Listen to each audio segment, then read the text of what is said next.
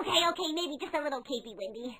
And so Word Girl saves the city from evil once again. This time from a man with the incredible power to conceal himself. Incredible!